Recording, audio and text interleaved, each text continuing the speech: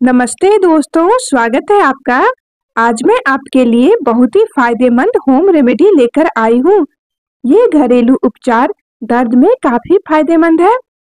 कहीं भी दर्द हो, जैसे घुटनों का दर्द, कमर का दर्द, जोड़ों का दर्द, शरीर के किसी भी हिस्से में दर्द हो, कितना भी पुराना दर्द हो, उसमें आराम दिलाता है।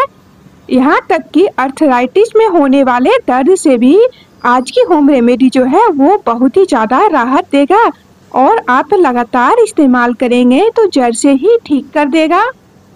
तो इस होम रेमेडी को बनाने के लिए सबसे पहली चीज़ जो हमें चाहिए, वो है हर सिंगार के पत्ते। हर सिंगार एक दिव्य चमत्कारी पौधा है, जिसे रात की रानी, परिजात, हर सिंगार नाइट जैस्मिन कहा जाता है। आपके इधर इस पौधे को क्या कहा जाता है कमेंट में ज़रूर बताएँ, ताकि सभी लोग इसके और भी नाम जान सके और फ़ायदा ले सके। पौराणिक कथा कहानियों के अनुसार मान्यता है कि यह पौधा पृथ्वी का पौधा है ही नहीं। दानवों और देवताओं के बीच समुद्र मंथन से ये पौधा निकला था। जिसे कि इंद्रदेव अपने साथ इंद्रलोक लेकर चले गए और वहाँ उन्होंने इसे लगाया था। पौराणिक मान्यता यह भी है कि इंद्रलोक से यह पौधा पृथ्वी पर भगवान श्री कृष्ण जी ने अपनी पत्नी सत्यभामा के लिए लाए थे। इस पौधे में खिलने वाले फूल सफ़ेद रंग के होते हैं और फूल की डंडियाँ नारंगी कलर की होती है। फूल दिखने में बेहद खूबसूरत होता है और इसकी खुशबू इतनी अच्छी होती है कि मन को मोहित करने वाली होती है। हर श्रृंगार के फूल महादेव जी और श्री कृष्ण जी को बहुत ही ज़्यादा प्रिय है। कहा यह भी जाता है कि माता सीता जी हर श्रृंगार के फूलों से अपना श्रृंगार किया करती थी। इसीलिए इस फूलों का नाम हर श्रृंगार पड़ा। माता सीता जी को भी यह फूल अत्यधिक प्रिय थे। आयुर्वेद के अनुसार इसके पत्ते फूल, डंडियाँ सभी हमारे स्वास्थ्य के लिए फ़ायदेमंद है। चेहरे को सुंदर बनाने के लिए, बालों के लिए, शरीर की बीमारियों को ठीक करने के लिए ये बहुत ही उपयोगी है। परिजात के पत्तों से कई तरह की बीमारियों में आराम मिलता है, जैसे कि परिजात के पत्तों का काढ़ा पीने से बुखार, मलेरिया, डेंगू और चिकनगुनिया जैसी बीमारियों में आराम मिलता है।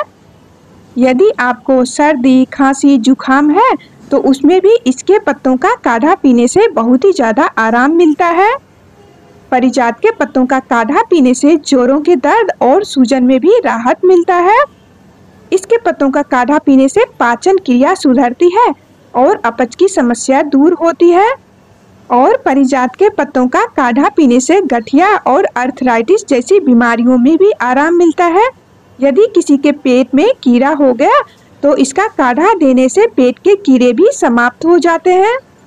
अब जानते हैं जोरों के दर्द में आराम पाने के लिए परिजात के पत्तों का काढ़ा बनाने का तरीका। सबसे पहले तीन से चार परिजात की पत्तियों को लेना है और उसे बढ़िया से साफ़ पानी से रगड़ रगड़ कर धो लें। अब एक पैन में एक गिलास पानी डालें और उसमें इन पत्तियों को तोड़कर डालें। अब गैस का फ्लेम ऑन करके पानी को उबलने दें। धीमी आँच पर हमें पानी के साथ पत्तियों को पकाना है। जब एक गिलास पानी आधा गिलास हो जाए तो उसे छान कर और आपको थोड़ा ठंडा कर लेना है। पूरी तरह से ठंडा नहीं कीजिएगा। इतना ठंडा करना है कि आप आसानी से पी सके और धीरे धीरे इसे आपको पी लेना है। सुबह सुबह खाली पेट पीना ज़्यादा फ़ायदेमंद होता है। अगर आप कोई बीमारी में ले रहे हैं तो सुबह शाम दो टाइम इसका काढ़ा बनाकर पी सकते हैं। परिजात के फूल और पत्तों में विटामिन सी और एंटीऑक्सीडेंट्स होते हैं, जो हमारे रोग प्रतिरोधक क्षमता को मज़बूत करते हैं। परिजात के फूलों का इस्तेमाल कई तरह से किया जा सकता है। परिजात के फूलों और पत्तों से तेल बनाकर पीठ दर्द में लगाया जा सकता है या शरीर के दर्द में इसके लिए आपको नारियल का तेल, तिल का तेल या सरसों का तेल लेना है। उसमें फूल और पत्तों को उबालकर छान लें और फिर दर्द वाली जगह पर मालिश करें। बहुत ही जल्दी आराम होता है और लगातार तीन महीने लगा लेते हैं तो हमेशा के लिए दर्द ठीक हो जाएगा। परिजात के फूलों की चाय पीने से पाचन क्रिया सुधरती है। इसके लिए पाँच से सात फूलों को पानी में उबालकर पी लेना चाहिए। परिजात के फूलों का सेवन करने से हृदय रोग से भी बचा जा सकता है। परिजात के पत्तों को पीसकर, शहद में मिलाकर पीने से सूखी खांसी ठीक होती है। चेहरे को सुंदर बनाने के लिए 20 से 25 फूलों को लेकर कूट लें और इसमें थोड़ा सा एलोवेरा जेल और दो से तीन बूंद गुलाब जल मिलाकर एक पेस्ट जैसा बना लें और हर रोज चेहरे पर लगाएँ।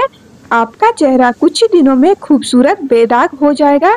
कोई भी बाहर की क्रीम लगाने की ज़रूरत नहीं पड़ेगी, ना ही ब्यूटी पार्लर में जाकर महँगे महँगे फेशियल करवाने की भी ज़रूरत पड़ेगी। ये फूल इतना फ़ायदेमंद है। दोस्तों, आपको आजकल काफ़ी जगहों पर ये पौधा देखने को मिल जाएगा, पर ये पौधा कभी धरती पर था ही नहीं। इस पौधे को स्वर्ग से धरती पर लाया गया था। ये स्वर्ग का पौधा है, इसलिए इस परिजात के पौधों के फूल, पत्तियाँ और डंडियाँ इतनी शक्तिशाली होती है कि बहुत सारी बीमारियों को दूर करने में मदद करता है। यदि किसी को सटिका की प्रॉब्लम है, जिसमें कमर से दर्द शुरू होता है और पैरों तक भयानक दर्द होता है, वो चल फिर भी नहीं पाते हैं, हिलडुल भी नहीं पाते हैं। उस स्थिति में आपको तीन से पाँच पत्तियों को लेकर बढ़िया से साफ़ पानी से धो ले और अच्छे से कूट लेना है। एक गिलास पानी में पत्तियों को उबालना है। जब पानी आधा रह जाए तो छान कर पिए।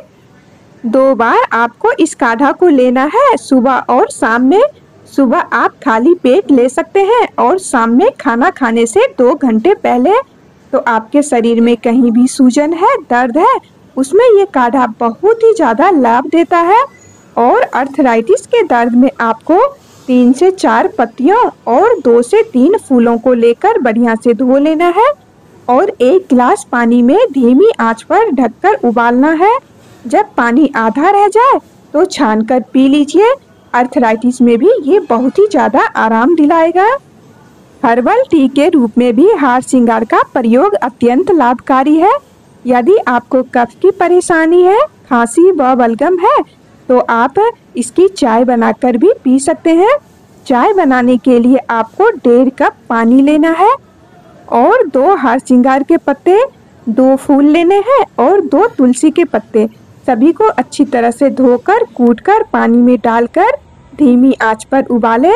जब एक कप रह जाए तो आपको पी लेना है। ये चाय आपको सर्दी, खांसी, बलगम से तो राहत दिलाएगा ही। और साथ ही पेट में जितना भी गंदगी, कचरा जमा होगा, सभी को साफ़ करने में काफ़ी मदद करेगा। पेट में कीड़े होते हैं, उसको भी ये समाप्त करेगा। ये हर श्रृंगार का पत्ता पढ़ने वाले बच्चों के लिए भी काफ़ी फ़ायदेमंद है। बच्चों का पढ़ाई में मन नहीं लगता है। एकाग्रता की कमी है। गुस्सा ज़्यादा आता है, चिड़चिड़ापन है। तो आप एक पत्ते को अच्छी तरह से धोकर दे दे और बोले, अच्छी तरह से चबा चबा कर खा ले। ऊपर से एक गिलास या आधा गिलास पानी पिला दे। ऐसा करने से बच्चों की एकाग्रता बढ़ेगी, क्योंकि हार सिंगार का पत्ता ब्लड प्यूरिफायर भी है।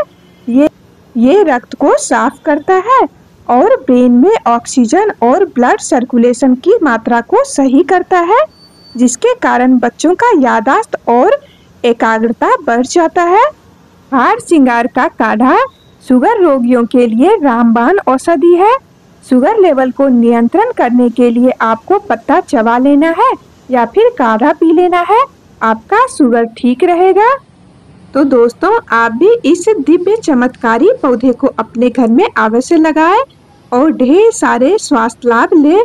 दोस्तों, चैनल को सब्सक्राइब भी अवश्य कर लें क्योंकि अगली वीडियो में मैं एक ऐसा चमत्कारी तेल बनाने का तरीका शेयर करने वाली हूँ। उस तेल को लगाने से सभी तरह के दर्द में आपको राहत मिलेगा। यदि आपको आज की हमारी ये वीडियो और जानकारी पसंद आई तो प्लीज़ एक लाइक कर दे। यहाँ तक बने रहने के लिए आपका बहुत बहुत धन्यवाद।